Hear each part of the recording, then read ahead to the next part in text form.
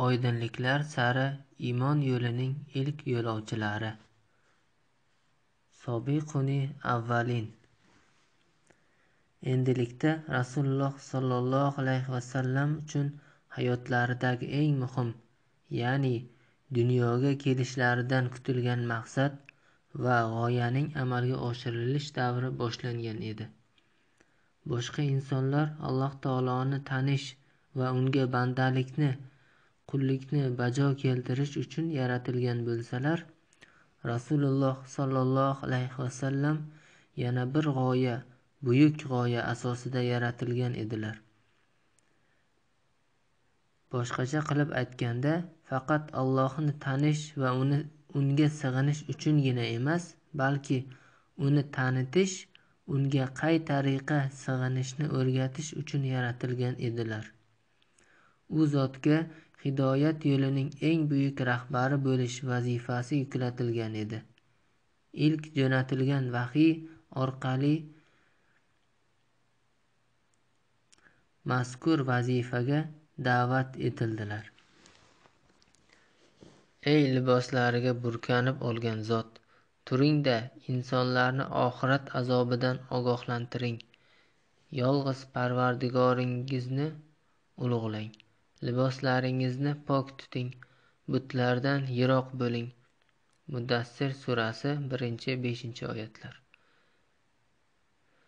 Endi Muhammad ibn Abdullohni hayotidagi tojirlik davri nihoyasiga yetgan u zotning Muhammadun Rasululloh bo'lishday buyuk davrlari boshlangan edi. Kunlardan bir kun Rasululloh Makkaning yuqori qismida aylanib yurganlarida ro'paralaridan Jabroil alayhissalom chiqib qoldilar. Bu uchrashuv endi u zotni qo'rquvga solmaydi, aksincha ko'rgan zahotlari yo'q Rasuli akram sollallohu alayhi vasallam quvonib ketadilar. Jabroil alayhissalom tovonlarini yerga bir uradilar va o'sha urilgan joydan suv otilib chiqadi. Bu suv bilan tahorat qiladilar. Payg'ambarimiz sollallohu alayhi vasallamga ham o'zlari ko'rsatganday ravishda tahorat olmoqni buyuradilar. Rasululloh sollallohu alayhi vasallam xuddi Jabroil alayhissalom ko'rsatganlariday tahorat oldilar.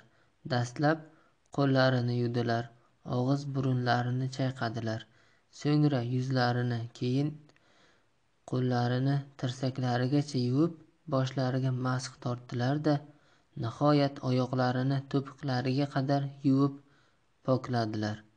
Shundan so'ng Jabroil alayhissalom imomlik qildilar va ikkovlon birgalikda namoz o'qishdi.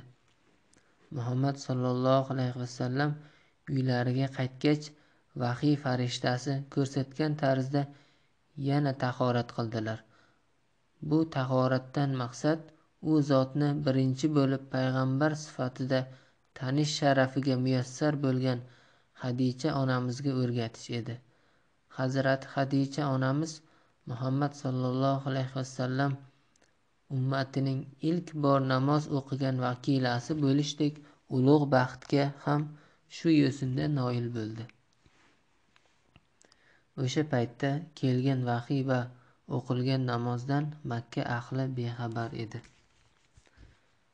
Payg'ambarimiz sollallohu alayhi vasallam tarbiyalari ostida bolalik chog'larini nihoyasiga yetkazayotgan Ali bir kuni uy ichida g'aroyib xatti-harakatlar bo'layotganini ko'rib qoldi.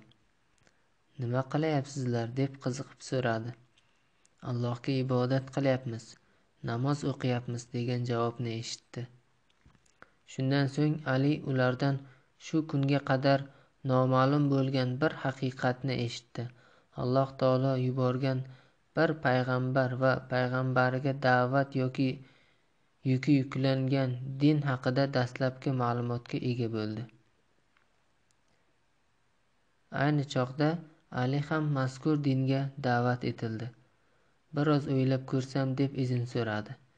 Yaxshilab o'ylab ko'r Ali, bu dinni qabul qilmaydigan bo'lsang ham bu haqda hozircha birovga gapirmay tur degan javobni eshitib faqatgina otam abu tolib bilan maslahatlashsam dedi. O'sha kuni ali yursa ham o'tirsa ham xayoli shu mavzu bilan band bo'ldi. Hatto tunda ham shu haqda bosh qotirib tongga qadar mijja qoqmadi. Tong otishi hamonoq payg'ambarimiz sollallohu alayhi vasallam huzurlariga oshiqdi va mening iymonim komilki siz allohning payg'ambarisiz da'vat etayotgan diningiz esa haq dindir dedi. Abu tolib bilan maslahatlashdingmi ey ali? Yo'q alloh meni yaratar ekan. Abu tolib bilan maslahatlashmadi. Men ham allohni tanish uchun u bilan maslahatlashishga ehtiyoj sezmadim. Shu tariqa ali roziyallohu anhu shahodat kalimalarini aytib islom diniga kirgan ikkinchi mo'min bo'ldi. Ko'p yillar davomida bu uyning farzandi o'laroq tarbiya topib o'spirin yoshiga yetgan zayd ham allohning rasuli sollallohu alayhi vasallam islomni da'vat etganlarida hech ikkilanmadi. Men shohidmanki siz allohning bandasi va payg'ambarisiz dedi. Shunday qilib bir necha yillar muqaddam dunyoning saodat uyiga farzand sifatida kirib kelgan zayd onasi hadicha va ali ibn abu tolibdan so'ng uchinchi musulmon bo'lish sharafiga yetishdi. Abu kuhofaning o'g'li abu bakr ko'pchilikning hurmatiga sazovor bo'lgan sog'lom fikrli durust bir savdogar edi. Shu kunga qadar butlarga biron marta ham bo'yin egib sig'inmagan foydasi tegmaydigan hatto o'zini himoya eta olmaydigan bir toshdan odamga qanday naf bo'lishi mumkin degan fikrda yurardi. Ma'budlik bilan tosh va daraxt o'rtasida biron munosabat bo'lishi mumkin emasligini ta'kidlar edi. Holbuki o'sha damlarda aqli raso xalq orasida hurmat e'tiborga ega jamoat orasida sharafli hisoblangan ko'pgina kishilar bu tosh sanamlar qarshisida bosh egardilar. Buni ular shunchaki ko'ngil xushlik uchun emas balki ibodat uchun qilardilar. Toshlarga astoydil sig'inar edilar. Ichkilik iste'mol qiluvchilarning naqadar xarob holga tushayotganini ko'rgan abu bakr og'ziga tomchi sharob olmagan ayni choqda insonlik sharafiga nomunosib bo'lgan zino ham qilmagan edi. Vaholanki o'sha paytlarda zino oddiy bir hol edi. Uning har xil turlari keng tarqalgan edi. Hatto ba'zilar aslzoda hisoblanuvchi kishilardan farzand orttirishni orzu qilib shu maqsadda o'z juftu halolini o'shanday kishilarning ixtiyoriga topshirar so'ngra xotini homilador bo'lgan bo'lmagani oydinlashgunga qadar unga yaqinlashmas. Keyinroq esa o'zlariga bunday inoyat qilgan kishilarga sovg'a salomlar ham jo'natar edilar. Buning natijasida jamiyatda nasl nasabi noma'lum bolalar ko'paygan edi. Homilador emasligi aniq. Bir ayol bir vaqtning o'zida sakkiz o'n kishi bilan zinoda bo'la olar. Bu chirkin ish ayol to homila orttirgunga qadar davom etar edi. Bola tug'ilgach haligi kishilarning hammasi ayolning huzuriga to'planar. Ayol ularning ichidan kimni tanlasa o'sha odam bolaga otalik qilar va bunga hech kim e'tiroz bildirmas edi. Sudxo'rlik ham jamiyatda chuqur ildiz otgan puldorlar tomonidan qurilgan bu tegirmon faqirlarni ojizlarni chig'iriqdan o'tkazar. Ular peshona teri bilan qo'lga kiritgan daromad to'ppa to'g'ri sarmoya berib turganlarning cho'ntaklariga borib tushar edi. Zamona zo'rniki edi. Ojizlar doimo azob uqubatga giriftor hech kim o'zini xavfsiz sezmas o'zaro ishonch tuyg'usi qolmagan edi. Bir qabiladan ikkinchi qabilaga mol olib borib sotish va bunda salomat qolib daromad orttirish mushkul masalaga aylangan edi. Qon to'kish og'ir gunoh bo'lmay qolgan g'azab otiga mingan qasos alangasida yonayotgan biror kishi dushmanining bosh chanog'ida sharob ichishga qasamyod etishdan ham tap tortmas va bu ontini so'zsiz bajarar edi. Xalq orasida obro' e'tibor qozongan shoirlar she'rlarida o'zlarining odobsizliklarini ham ifoda etaverardilar. Chunonchi muallaqa shoirlaridan amir ibn kulsum bunday degan edi. Zinhor biron kimsa bizga qarshi johillik qilishga otlanmasin. Aks holda biz ham johillarning johilligidan foydalanib johillik bilan javob qilamiz. Ularning orasida sog'lom fikrli fazilatli kishilar ham yo'q emasdi. Ammo borlarining ham hayotda huzur halovati tinchi yo'q edi. Chunonchi sof vijdonli chin insoniy fazilatlar sohibi bo'lgan abu bakr ham bu muhitda bo'g'ilgan joni halqumiga kelgan edi. O'tirib chin dildan suhbatlashadigan dardini ishonib ocha oladigan kishilarning soni barmoq bilan sanoqli edi. Abu bakrning eng ishonchli har jihati bilan taqdirlashga loyiq yagona birodari bani hoshim urug'idan abdulmuttalibning nabirasi muhammad ibn abdulloh edi. Uni anchadan beri hadicha bilan turmush qurgan kezlaridan tanir el orasida yoshligidan al amin deb tanilgan bu insonning tom ma'noda ishonchli ekanligiga shubhasi yo'q edi. U bilan do'stlashganining boisi ham shu. Orada o'tgan yillar bu do'stlik rishtalarini yanada mustahkamladi. Ikki do'st bir birlariga ko'r ko'rona emas samimiyat va fazilat uzatgan qo'llar bilan bog'landilar.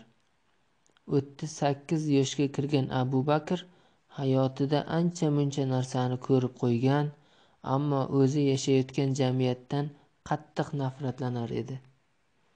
Shunday fikrlar bilan yashayotgan abu bakr bir kuni muhammad ibn abdullohni huzuriga otlandi. U bilan dardlashaman. Bu mazmunsiz hayotdan qutulish choralarini birgalashib axtarishni taklif etaman deb o'yladi.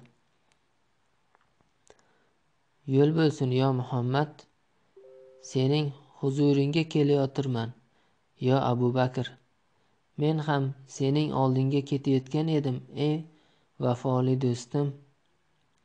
Ikki do'st xilvatroq joyga chekindilar. Bir necha oydan beri davom etayotgan g'aroyib tushlar shundan keyin yolg'izlikka bo'lgan intilish hissi va xiro tog'ida kelgan farishta haqlarida gapirildi. Nihoyat abu bakr yakkayu yolg'iz allohdan boshqa iloh tanilmaydigan haq dinga da'vat etildi. Abu bakr zarracha ham ikkilanmadi. Chin ko'ngildan chiqayotgan samimiy so'zlar bilan guvohlik beramanki ey muhammad alloh yolg'izdir undan boshqa hech bir iloh yo'qdir. Yana guvohlik beramanki sen uning quli va rasulisan dedi. Abu bakrdan xuddi mana shu javob kutilgan edi. Shu yo'sinda musulmonlar muhammad alayhissalom ummatlari to'rt nafar bo'ldi. Komil insonlar ichida birinchi o'rinda abu kuhofaning o'g'li abu bakr roziyallohu anhu egallagan edi. Hazrati abu bakr o'ttiz sakkiz yillik hayoti davomida bu kecha bo'lgani kabi osoyishta bir hissiyot bilan yotog'iga kirganini eslay olmasdi. O'zining va barcha olamlarning yaratuvchisini tanish sharafiga erishdi. Unga ishonish bilan yuraklar huzur halovat topishini o'z tanasida his qildi. Yotog'iga kirar ekan ich ichidan otilib kelayotgan bir samimiyat bilan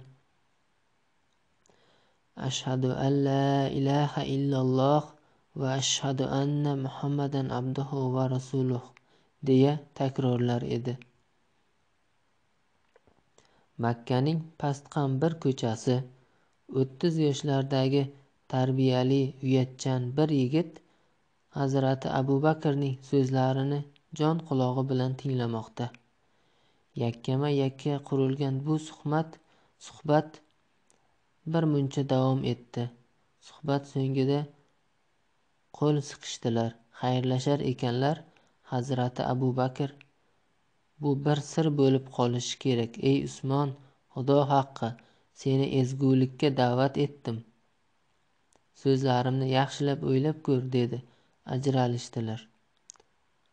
Affon o'g'li usmon tafakkurini larzaga solgan dunyoqarashini beqiyos kengaytirgan bir taklifga yuzma yuz kelgan edi. Abu bakr bu butlar jonsiz narsalardir. Biron kimsaga na foydasi bor ularning va na ziyoni yaxshilab o'ylab ko'r so'zlarimning to'g'ri ekanligini anglayajaksan uylarimizning poydevoriga ishlatadigan toshlardan tog'larda qir adir va vodiylarda mavjud toshlardan hech farqi yo'qdir bu butlarning degan edi. Aqli raso kishining boshqacha xulosaga borishi imkonsiz edi. Erta saharda usmon abu bakrni qidirib topdi. Meni muhammad ibn abdullohning huzuriga olib bor dedi. Hazrati abu bakr samimiyligiga samimiyligiga ishonsa bo'ladigan yoshlar bilan birma bir uchrashib ularga buyuk haqiqatni tushuntira boshladi. Har gal yakkama yakka uchrashar butlar haqidagi gap ochar yolg'iz ollohdan o'zga hech bir ma'budning yo'qligini uqtirar suhbatdoshida yaxshi ma'nodagi bir o'zgarishni sezsa shundan keyingina muhammad rasululloh sollallohu alayhi vasallamdan gap boshlar edi. Zubayr ibn avvom abu bakr bilan uchrashgan ikkinchi yigit edi. Unga ham usmonga aytilgan gaplar uqtirildi zubayr sevimli hurmatli kishisi abu bakrning so'zlari safsata bo'lishi mumkinligini hatto tasavvur ham qilolmasdi. Qolaversa abu bakr unga payg'ambar deb tanitgan muhammad ibn abdullohni o'zi ham juda yaxshi tanir edi. Chunki zubayrning onasi safiya muhammad ibn abdullohning ammasi bo'lgani uchun ularning orasida yaqin qarindoshlik rishtalari mavjud edi. Ammo zubayrga buning o'zi yetarli emasdi. Azal azaldan an'anaga aylangan bu bobodan otaga otadan bolaga asrlar davomida o'tib kelgan hayot tarzidan butunlay voz kechishi kerak. Bu ish esa oson emas edi. Shu kunga qadar telba emasligiga ishonchi komil bo'lgan ko'plab insonlar birgina so'z bilan yuzlarcha kishilardan iborat qabilalarni harakatga keltira oluvchi boshliqlar shoirlaru notiqlar. Hamma hammasi butlarga sig'inib keladilar. Ularga ma'bud deb e'tiqod qo'ygan butlarni toshdan bo'lak narsa emas deyish g'oyat mushkul edi. Shunday o'y xayollar bilan oradan bir necha soat o'tdi. Men aqlli bo'lsam nega endi aqlimni ishlatmayin? Yashinday miyasiga kelib urilgan bu fikr zubayrni eskilik sarqididan xalos etib aql bilan ish yuritishga undadi. Butlarni iloh deb biluvchi e'tiqod kishani o'z o'zidan parchalanib ketdi. Abu bakr bilan ikkinchi marta uchrashganda butlar endi uning uchun ham toshga aylangan jonsiz va ahamiyatsiz bir narsa bo'lib qolgan edi. Meni tog'amning o'g'li bilan uchrashtir yo abu bakr dedi hayajon ila. Bir muddat o'tgach hazrati hadicha onamizning iymon mash'alasi yongan uyida zubayr ibn avvom ismli bir yigit ham qalbining tubidan otilib chiqqan va umr bo'yi unga sodiq qoladigan haqiqatni har bir kalimasi ustida to'xtab to'xtab takrorladi. Ashhadu an la ilaha illalloh. Nabiylar sarvari tug'ilgan kechani eslovchilar o'sha kecha ominaga yordam berish uchun kelgan ikki ayoldan biri shifoxonim bo'lganini juda yaxshi biladilar. Ushbu hodisadan roppa rosa o'n yil o'tgach shifoxonim ham bir o'g'il tuqqan. Unga abdi amir deb ism qo'ygan edi. Abdi amirni ayrimlar abdul kaba deb ham atashardi. Xullas yaxshi yomon xotiralarga boy yillar o'tib abdi amir ham o'z o'ttiz yoshga kirdi. Aslida hayotining eng lazzatli onlari ham o'sha yillarda o'tgan bo'lsa ajab emas. Bir kuni abdi amir o'zi ulkan hurmat bilan qaraydigan savdogar tomonidan fikrlashga da'vat etilganida qo'llarini peshonasiga qo'yib chuqur o'yga tolib majburiyatini his etdi. Juda soz yo abu bakr men bu mavzu to'g'risida yaxshilab bosh qotirayin dedi u. rasululloh sollallohu alayhi vasallam jondan aziz do'stlari abu bakr bilan birgalikda huzurlariga abdi amir ham kelganini ko'rib juda mamnun bo'ldilar. Chunki u ham iymon keltirish hidoyat va saodat yo'liga kirish uchun kelgan edi. Abdi amir shahodat kalimalarini so'yladi. Kufr va inkor yo'lini bundan keyin butunlay tark etish evaziga bu buyuk yo'lni qozondi. Sening isming abdurahmon bo'lsin. Unga bu muborak ismni payg'ambarlarning eng buyugi berdilar. O'zlariga sevimli bo'lgan bu ismni doimo bu dunyoda ham oxiratda ham hamrohlari bo'lajak. Bir yigitga berdilar. Yillar o'tib ham nabiylar sarvarining tillaridan ismlarning eng go'zali abdulloh va abdurahmondir degan so'zlarni eshitgan chog'larida o'zini abdi amr bo'lishdan xalos etgan va abdurahmon bo'lish sharafiga sazovor qilgan rasululloh sollallohu alayhi vasallamga mehr to'la nigohlari bilan boqishib shubhasiz edi va bu yigitning ismi bilan birga jismi ham ruhi ham o'zgargan edi. Uning butun vujudi bilan ko'hna va eskidan mukammal yangiga o'tgan edi abdurahmon. Abdurahmon ibn af iymon yo'lida hamroh bo'lajak ilk musulmon birodarlari bilan tanishdi. Ular hanuz barmoq bilan sanoqli edilar. Payg'ambarimiz sollallohu alayhi vasallam xonadonlari a'zolarini hisobga olmaganda abu bakr usmon zubayr va o'zi bu hisobga zaydni ham va ahli balog'at yoshiga yetmagan alini ham qo'shsak jami olti kishi bo'lardilar. Bepoyon dunyoda dunyoning asl sohibi va yaratuvchisiga e'tiqod qilgan uni inkor etmaydigan qudratda unga teng keladigan boshqa bir mavjudotni bilmaydigan olti kishi. Abdurahmon tahorat qilish namoz o'qishni o'rgandi. Namoz o'qir ekan o'qilishi kerak bo'lgan so'zlarni takrorlay takrorlay yodlab oldi. Bundan buyon butun hayoti davomida har namozning har rakatida o'qish lozimligini uqtirilgan fotiha surasini shaxsan payg'ambarimiz alayhissalomning tillaridan eshitdi alhamdulillahi robbil alamin hamdu sano barcha olamlarning parvardigori bo'lmish Alloh uchundir. Mehribon va rahimli jazo kunining egasi sengagina ibodat qilamiz va sendangina madad so'raymiz. O'zing bizni to'g'ri yo'lga hidoyat qilgin. Bizlarni shunday zotlarning yo'liga boshlaginki sen o'zing ularga to'g'ri yo'lni in'om qilgansan ular sen tomondan g'azabga duchor bo'lmaganlar va zalolatga ketmagan adashmaganlardir kelajakda alloh taolo tayinlaydigan vaqtga qadar hech kimsaga bu haqda og'iz ochmaslik odamlarning ko'zi tushadigan joyda namoz o'qimaslik uqtirildi.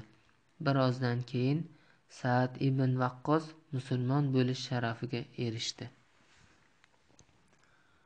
Xolid ibn said ibn os uyqudan uyg'onib yuragi tez tez urayotganini his etdi. Bir tush ko'rgan edi. Shu haqda suhbatlashish uchun uyidan chiqdi. Yo'l bo'lsin ey xolid. Al aminning huzuriga ketayotirman ey abu bakr nechuk? Bugun kechasi bir tush ko'rdim. Unga so'zlab bermoqchiman. Sen ham eshitsang foydadan xoli bo'lmas. Ular birgalikda rasululloh sollallohu alayhi vasallamning uylariga tomon yo'l olishdi. Ko'rgan tushini yo'l yo'lakay gapirib berdi. Vahshatli bir jarlikning shundoqqina yoqasida emishman. Birdan notanish kimsa pastga itarib yubordi. Qutulishim amri mahol edi. Shu orada birdan al amin muhammad ibn abdulloh paydo bo'ldi-yu belimdan dast ko'tarib qutqarib qoldi. Unga shu tushni aytib qanday ta'bir qilishini eshitmoqchiman. Yaxshi o'ylabsan ey xolid ehtimol alloh ehtimol alloh taoloning o'zi senga hidoyat tilagan bo'lsa ajab emas. Xolid ibn said yangi bir dinning tarqalayotganini va kechagi kunga qadar al amin muhammad ibn abdulloh sifatida tanigan kishisi bugunga kelib payg'ambarlik vazifasiga tayin etilganligini yo'lda hazrati abu bakrdan eshitdi. Bu paytda nabiy akram sollallohu alayhi vasallam ajyod degan bir joyda edilar. Bizni nimaga da'vat qilasiz yo muhammad? Sizni allohdan boshqa hech bir ilohning yo'qligini va muhammad allohning payg'ambari ekanligini tasdiqlashga shu damgacha sig'inganimiz jonsiz foyda ham zarar ham bermaydigan butlardan voz kechishga da'vat qilaman. Men guvohlik beramanki siz da'vat qilayotgan din haq dindir. Siz esa allohning rasulisiz. Shundan keyin xolid ko'rgan tushini gapirib berdi. Bir kuni o'ta ojiz qashshoq bir cho'pon qo'ylarini o'tlatib yurarkan ikki kishiga duch keldi. Sen kimning qo'y boqarisan? deb so'rashdi ular. Uqba ibn abu muaytning bizni sut bilan mehmon qila olasanmi? Sut bor-ku-ya ammo men oddiy qo'yboqarman sut bilan mehmon qilishga haqqim yo'q. Menga ishonib topshirilgan narsaga xiyonat qila olmayman. Xo'p unda bizga suti sog'ilmaydigan bironta qo'yni ko'rsatginchi? Qo'yboqar suruvdan bir qo'yni ajratdi. Mana shu qo'y sog'ilmaydi dedi. Yuzidan nur yog'ilib turgan kishi qo'yning oyoqlarini kerdi duo qildi. Birdan qo'yning emchaklarida sut oqa boshladi. Ikkinchi kishi bironta idish olib kelishni buyurdi. Qo'yboqar yonida olib yuradigan sopol tovoqni uzatdi. Sut sog'ildi va sutni sog'gan kishi ichdi. So'ngra o'rtog'iga berdi. Qolgan sut qo'yboqarga taqdim etildi. Hammasi ichib bo'lingach qo'yning emchaklari yana eski holiga qaytdi. Biroz oldin sut sog'ilgan emchaklarga sira ham o'xshamay qoldi. Ey oliyjanob zot bu qo'yga qanday duo o'qiding? Uni menga ham o'rgatasanmi? dedi qo'yboqar oting nima? Otim abdullohdir masudning o'g'liman. Seni yakkayu yagona allohning borligiga ishonishga va butlarga sig'inishdan voz kechishga da'vat etaman. Rasululloh sollallohu alayhi vasallam shularni so'zlar ekanlar abdulloh ibn masudning boshini silar alloh senga marhamati bilan muomala buyursin. Qulligingda davom etishni nasib qilsin. Sen o'rganishga qodirsan der edilar. Abdulloh kalimai shahodatni aytdi. Endi u iymon lashkarining jisman zaif ammo iymoni kuchli bir askariga aylandi. O'shanda mo'minlarning soni o'nga yaqinlashib qolgan edi. Sal keyinroq talha ibn ubaydulloh abu ubayda ibn jarroh abu salama arqam ibn abu arqam usmon ibn mazun ubayda ibn horis ibn abdul muttalib musulmon bo'ldilar. Bir paytlar yaman tomonlardan kelib bani mug'ira xonadonidan panoh topgan yosir u yerda mug'ira o'g'illari tomonidan sumayya ismli bir joriyaga uylantirilgan. Bu nikohdan ammor va abdulloh ismli ikki farzand dunyoga kelgan edi. Oradan yillar o'tdi va bu bolalar balog'at yoshiga yetdilar. Bir kuni ammor makka ko'chalarida aylanib yurganida bir ikki kishining muhammad ibn abdulloh sollallohu alayhi vasallam haqlarida bahslashayotganini eshitib qoldi. Suhbat diqqatni tortadigan darajada qizg'in edi. Shaxsan o'zini ko'rishni xohladi. U haqda surishtirdi. Nihoyat arqam ibn abu arqamning uyida ekanliklarini bildi va darhol shu tomonga jo'nadi. Zuhayb ibn sanon rumiy ham o'sha yerda edi. Ammor hayron bo'ldi. Bu yerda nima qilib yuribsan ey suhayb? deb so'radi. O'zingchi yo ammor men ichkariga kirmoqchiman va muhammad aminning so'zlarini tinglamoqchiman. Mening fikrim ham xuddi shunday. Birgalikda ichkariga kirdilar. Ma'naviyat olamidan taralib muhammad ibn abdullohning dudoqlaridan to'kilayotgan so'zlarni tingladilar. Bu kalom har jihatdan go'zal va mukammal ekanligiga ishonch hosil qildilar. Ikkisi ham kalimai shahodat keltirib iymonli bo'ldilar. Oqshomga qadar arqamning uyida qoldilar. Ko'p o'tmay ammorning otasi yosir onasi sumayya va ukasi abdulloh ham musulmon bo'ldilar. Shu tariqa butun oila a'zolari bilan islom diniga kirgan ko'ngillari rasululloh ko'rsatgan maqsadga yo'nalgan edi.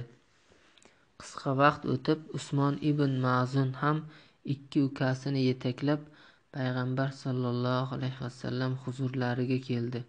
Qudoma bilan abdulloh akalari singari iymon va islom sharafiga noil bo'ldilar. Buyuk payg'ambar hazrati ibrohim alayhissalomning tavhid dinini tiklash maqsadida hidoyat yo'liga chiqqan ammo orzuyiga yetisha olmay hayotdan ko'z yumgan zayd bu kunlarda hayot bo'lsa kim biladi? deysiz. Qanchalar xursand bo'lardi? Ammo taqdirdan qochib qutulish haqqi hech kimsaga berilmagan. Ammo zaydning kichik yoshda yetim qoldirib ketgan o'g'li said bor edi. Mana shu kunlarda u voyaga yetgan kamgap yuvosh tarbiyali bir o'spirin bo'lgan edi. Uni amakisi xattob boqib olgan qizi fotimaga uylantirib ham qo'ygan saidning singlisi otikani esa o'g'li umarga olib bergan edi. Shu yo'sinda said bilan umar pochcha qayn og'a bo'lgan edilar.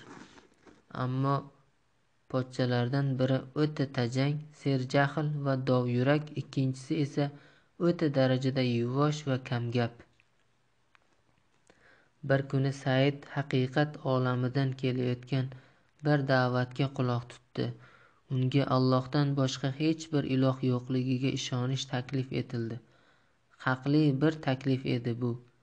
Otasi zayd mana shunday bir taklifga ro'baro bo'lish allohga olib boruvchi eng to'g'ri yo'lning murshidiga qovushish uchun butun vujudi bilan behisob chillalarda o'tirgan edi.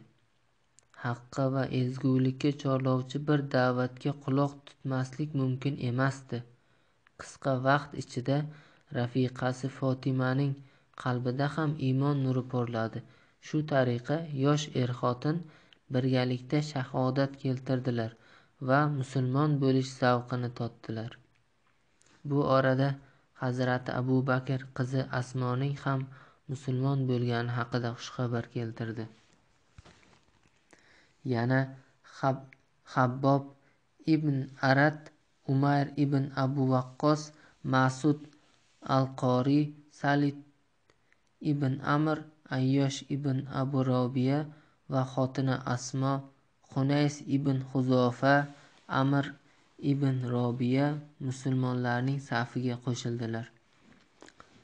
Bir zamonlar haq dinni topish maqsadida uzoq safarga otlangan va xristianlikni qabul qilib makkaga qaytgan ubaydulloh ibn jahsh ham shahodat keltirdi va musulmon bo'ldi.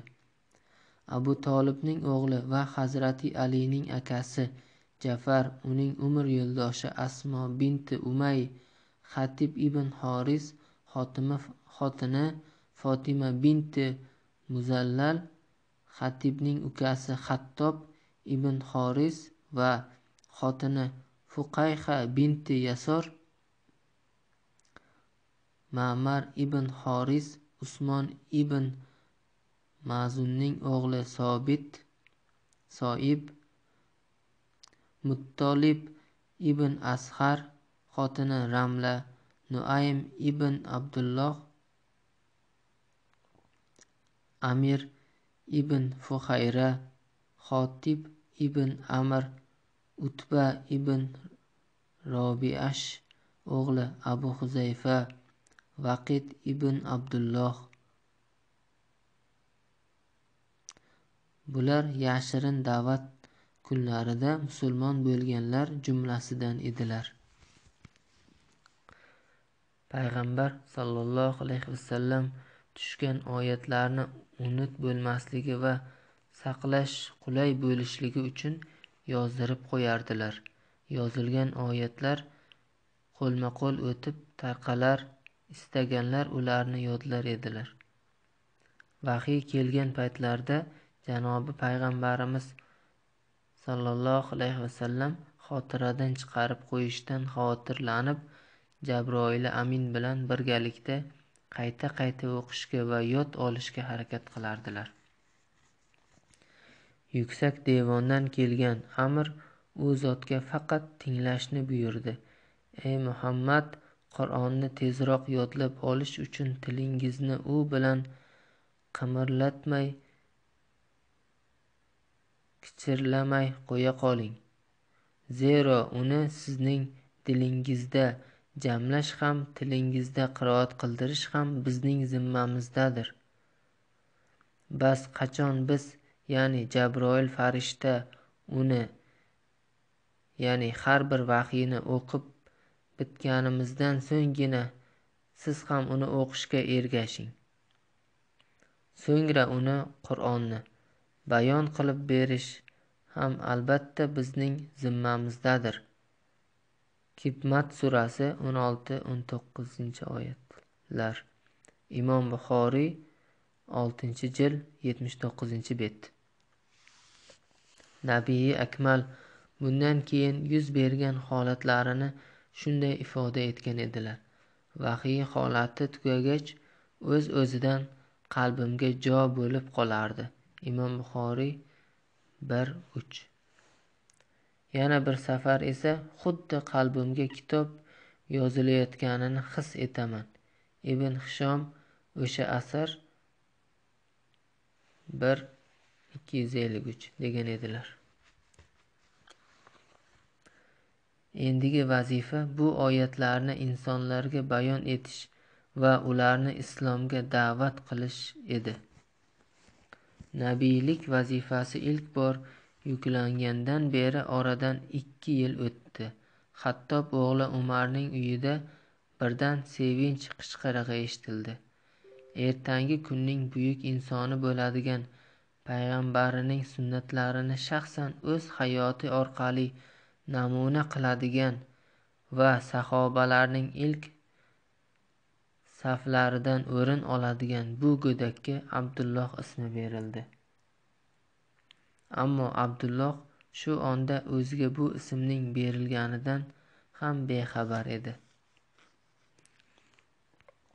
Abu tolib bir kuni makkadan tashqarida kezib yurarkan kutilmagan manzaraga duch keldi. Oldinda jiyani muhammad al amin undan bir oz orqada o'g'li ali birgalikda ibodat qilardilar.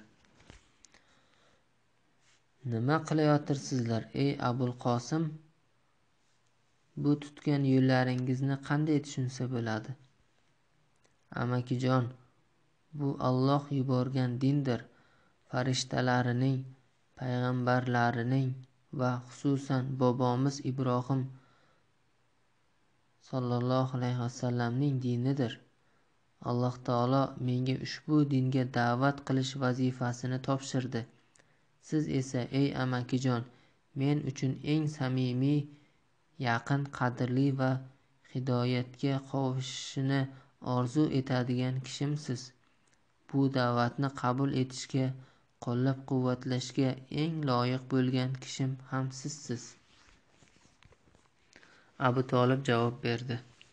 Ey jiyanim men ota bobolarimning dinidan voz kechishga jur'at qilolmayman. Ammo qasam ichib aytamanki toki men hayot ekanman biror kimsa senga yomonlik qila olmaydi shundan so'ng o'g'li ali tomonga o'girildi. Amakingning o'g'li seni faqat xayrli ishga da'vat etibdi. Undan ayrilma dedi. Ibn hishom o'sha asr bir ikki yuz oltmish uch. Endi vahiy uzluksiz ravishda kela boshladi.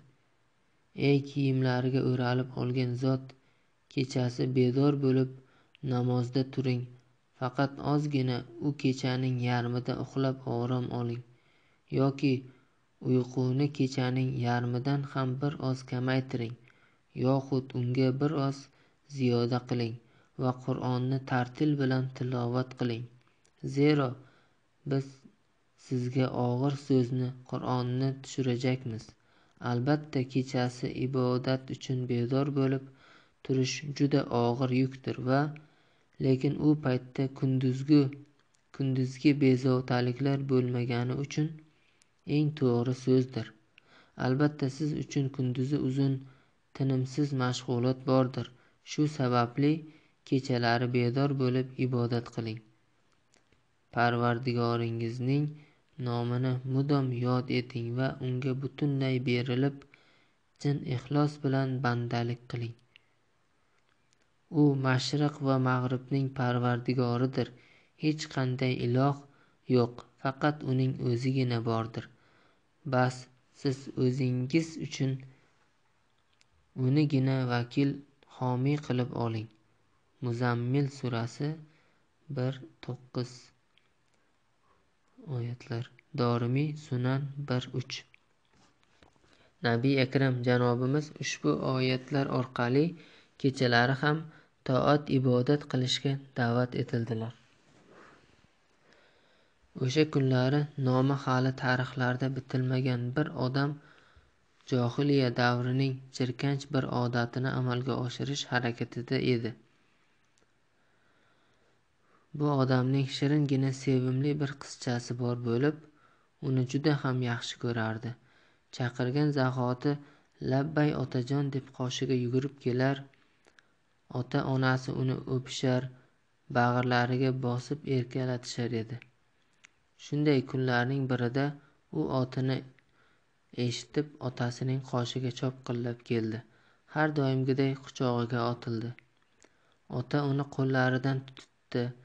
Ikkovlon birgalashib ko'chaga chiqdilar. Uylaridan hali uncha uzoqlashmagan edi. Ota unga ajoyib va xushta'm oziq ovqatlar haqida gapirar. Yaqinda qarindoshlaridan birining to'yida unga sovg'a tariqasida beriladigan ko'ylak haqida bahs etar edi. Shu asnoda qizcha birdan itarib yuborilganligini his etdi. Ota bola hozirgina yonidan o'tgan quduq qizchani qayta chiqmaydigan qilib o'z domiga yutdi.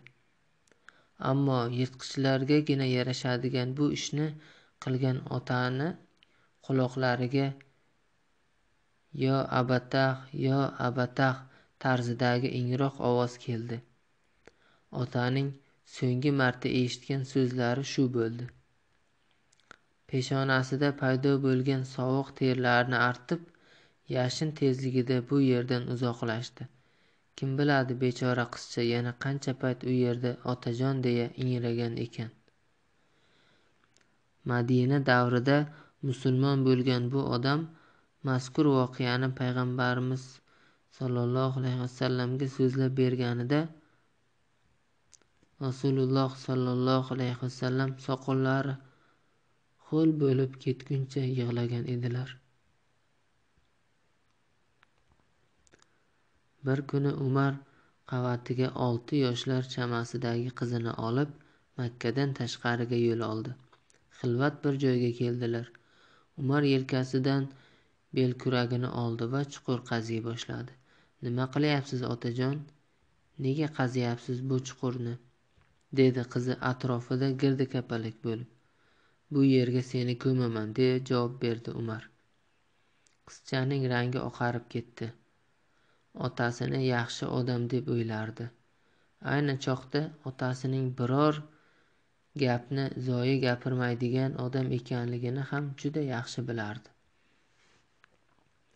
Ko'z yoshlariga to'lgan nigohlari otaga qadaldi. Otajon meni o'ldirmang. Sen hiqqilamay tur. Bu so'zlardan keyin ham yolvorish behuda edi. Yagona chora qochish edi. Jon shirin qizcha o'lishni istamasdi. Peshonasidan oqayotgan terlarni arta arta qum qaziyotgan umar birdan to'xta qochma deb baqirdi. Va qizining orqasidan chopa ketdi. Jon holatda qochayotgan qiz bechoraning ortidan yetib kelgan ota dag'al qo'llari bilan sochlaridan tutib qat'iy siltab to'xtatdi. Shundan keyin sudra sudra chuqurning yoniga olib keldi. Qazish davom etar go'dakning ko'z yoshlari ham beto'xtov yerga yumalanar edi. Shu asnoda umar qo'lidagi belkurakni yerga qattiq urdi va natijada bir siqim tuproq sochilib umarning yuz ko'zi changga belandi. Yerga o'tirib qoldi va ko'zlarini ishqalay boshladi. Otasining bu holatda ko'rgan qizcha sakrab o'rnidan turdi. Otajon meni o'ldirsangiz soqolingizni kim taraydi? Yuzlaringizni kim tozalaydi? deya barmoqlari bilan umarning soqollarini taray boshladi.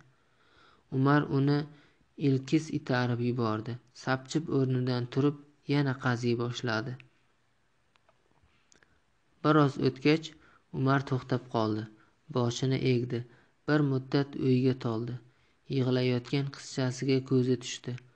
Olti yilga yaqin silab siypalab erkalab kelgan jigari edi u. bunday yaqin kishisining joniga qasd qilish oson emasdi. Orada ko'ngliga bu ishdan voz kechish fikri ham keldi. Qizchasining qo'lidan tutib makkaga qaytishni ham o'yladi. Shunday qilganida qanchalar sevinardi bu ma'suma go'dak. Yana hayotga qaytgandek bo'lardi. Kim biladi hozir uyda qanday alamli damlar kechayotgan ekan. Qanchalar ohlar chekilayotgan ko'z yoshlar to'kilayotgan ekan. Ammo bu ishning boshqa jihati ham bor edi. Umar qizini olib ketdi qo'llari titrab orqaga qaytarib olib keldi deb ustidan birodarlari kulishmaydimi? Umr bo'yi qizi oldidagi vijdon azobiga qanday chiday oladi? Bir necha soniya vaqt shunday fikrlar og'ushida o'tdi. Soatlar hatto kunlarga ta'tirli bir biriga zid fikrlar yashin tezligida miyasidan o'tdi. Shundan so'ng yana belkurakka yopishib chuqur qaziy boshladi. Yetarli darajada qaziganiga ishonch hosil qilganida yerda faryod urib yotgan qizcha ham dahshatli fojia soati yetib kelganini sezdi. Yalinchoq nigohlarini otasiga qadadi. Ammo otasining ko'zlaridan olov sachrardi. Qiz yana tez o'rnidan sakrab turdi va takror qocha boshladi. Umar yana qizining ortidan yugurdi. Yetib olib qattiq ushladi. Endi qutulish chorasi qolmagan edi. Qizcha hadeb otajon otajon deb chinqirar siltanar edi. Bir latta kabi uloqtirilgan ma'sum vujud chuqurning chetlariga tegib pastga yumalab ketdi. Umarning baquvvat qo'llari tuproq uyumini chuqurga tashlar ekan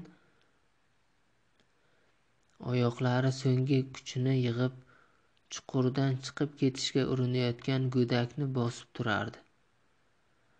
Boshiga shuvillab tuproq to'kilib ko'zlariga ham tuproqqa to'lgan qizcha bir ikki chiranishdan so'ng harakatlari bo'shashdi. Ketma ket ustiga tushayotgan tuproq uni tobora bosib nafasini qisa boshladi. Oyoqlari ostidagi vujudning nihoyat chiranishdan to'xtaganini anglagan umar yengil nafas oldi. Peshonasidagi terlarini artib tashladi va qolgan qutgan tuproqni ham chuqurga ustiga tashlab ishini tugatdi. O'sha kecha uyda hech kimning ovozi chiqmadi. Umar har doimgidan ham asabiy edi. Uning bu qo'rqinchli holati